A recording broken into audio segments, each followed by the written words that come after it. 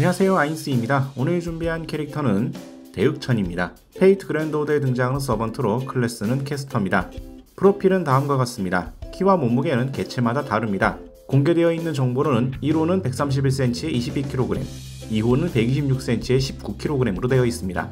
출전은 전승, 주로 일본 불교, 신화 및 민간 신앙입니다.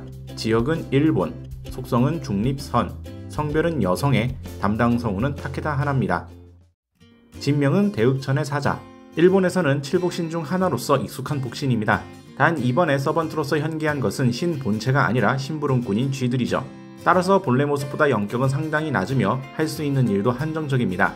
구체적으로는 주먹밥이라면 잘 쥐어서 드리겠어요. 번식이라면 맡겨주세요. 얼쑤 경사로구나 경사로구나. 파라미터는 근력 E, 내구 E, 민첩 D, 마력 A, 행운 A, 보구 C 랭크입니다. 클래스 스킬은 진지 작성, 랭크는 E입니다. 마술사로서 자신에게 유리한 진지를 만들어냅니다. 도구 작성, 랭크는 D입니다. 마력이 있는 기구를 작성할 수 있습니다. 신성, 랭크는 E 마이너스입니다. 대흑천의 위광이 조금 느껴집니다. 고유 스킬로는 공덕의 봉사, 랭크는 A입니다. 가사 전반을 행하는 스킬입니다. 무엇이든 해내지만 솜씨는 적당합니다. 다만 주먹밥 만들기 솜씨만큼은 탁월하죠. 선행을 쌓는 것으로 공덕을 얻어 영격을 조금 높일 수 있다. 라고 본인들은 믿고 있다고 합니다. 이익 중생, 랭크는 A입니다. 대육천께 복종하여 공물을 바치는 의식을 거행하는 것으로 그 복덕을 일시적으로 하사받습니다. 다망하신 주인에게 힘을 빌리는 송구함 탓인지 사용할 때는 무척 긴장합니다. 쥐의 나라, 랭크는 B입니다. 땅속에 구멍을 팝니다. 마술 공방이나 지하 통로, shelter 등을 구축할 수도 있습니다. 어떨 때는 도주로, 또 어떨 때는 함정, 공방 자재, 궁리하기 나름인 tricky한 스킬입니다. 보구는 서정토, 랭크는 A입니다. 지하에 펼쳐지는 쥐들의 테마파크를 고유 결계로 재현합니다. 적을 가두어 소모시키거나 암흑 속에서 일제히 공격하는 등 각각은 하찮지만 다수를 의지하는 쥐만이 할 수 있는 전법을 펼칩니다. 당하는 쪽은 트라우마가 생길 정도일 것이죠. 쥐의 번식력도 상징하는 이 보구의 힘으로 개체의 번식을 가능케 하고 있습니다. 마력 형편상 무한하게 번식할 수는 없습니다. 30마리 정도가 한계라고 합니다. 요술망치, 랭크는 A입니다. 방대한 마력을 축적한 마력로이며 풍부한 출력으로 고유결계 쥐의 정토를 순식간에 출현시킵니다. 대육천 본체가 소지한 아이템 그 자체가 아니라 순간적인 마력 공급의 요소만 분리하여 구현한 것입니다.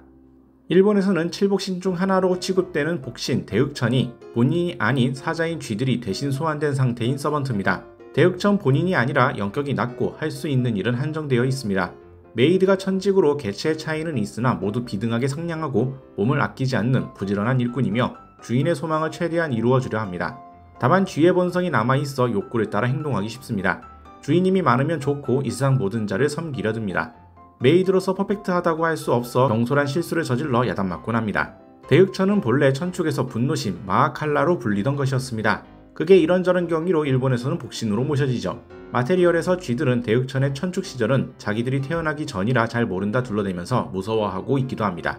하여간 대흑천은 경사스럽기만 한 신은 아니라고 하죠.